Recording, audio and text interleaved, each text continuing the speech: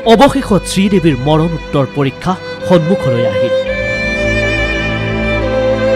দুৰ্ঘটনাগ্ৰস্তভাৱে পানীত পৰি শ্ৰীদেৱীৰ মৃত্যু। ডুবাইৰ হোটেলৰ বাথটাবত পোৱা গৈছিল শ্ৰীদেৱীক। শ্ৰীদেৱীৰ শৰীৰত উদ্ধাৰ কৰা হৈছিল সুৰা। শনিবাৰে নিশাই শ্ৰীদেৱীৰ মৃত্যু।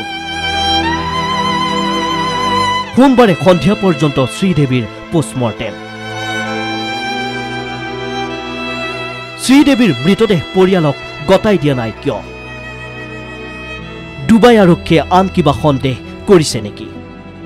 শ্ৰীদেৱীৰ অন্ত্যেষ্টিক্ৰিয়াৰ বাবে ने वो बाथरूम में है अगर 10 मिनट के अंदर अंदर पता लग जाता है तो आप सीपीआर दे सकते हो बाथरूम में जाने का मतलब है कि उनको वॉमिटिंग लग रही है वॉमिटिंग तब होता है जब हार्ट अटैक इंफीरियर वाल जो हार्ट अटैक होता है उसमें कई बार वॉमिटिंग टाइप की टेंडेंसीज होती है ये तो पोस्टमार्टम रिपोर्ट से ही पता लगेगा लेकिन ऐसा टिपिकल होता है जिनको कार्डियक अरेस्ट होता है वो ज्यादातर अरेस्ट से पहले बाथरूम जाते हैं उल्टी करने की कोशिश करते हैं वो हार्ट अटैक का लक्षण है মুম্বাইত বলিউড তাৰকা সাজু হৈ আছে কিন্তু মৃতদেহ সন্ধিয়া পৰ্যন্ত আহি পোৱা নাছিল এয়া মুম্বাই চান্তাক্ৰুজস্থিত সমাধিস্থলী।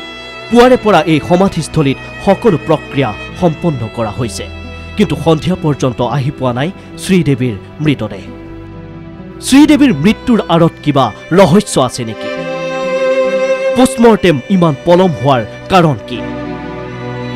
সোমবাৰে বিয়লি ডুবাই আৰক্ষীয়ে মৰ্গত প্ৰৱেশ কৰিবলৈ অনুমতি দিয়ে শ্ৰীদেৱীৰ অভিভাৱকক।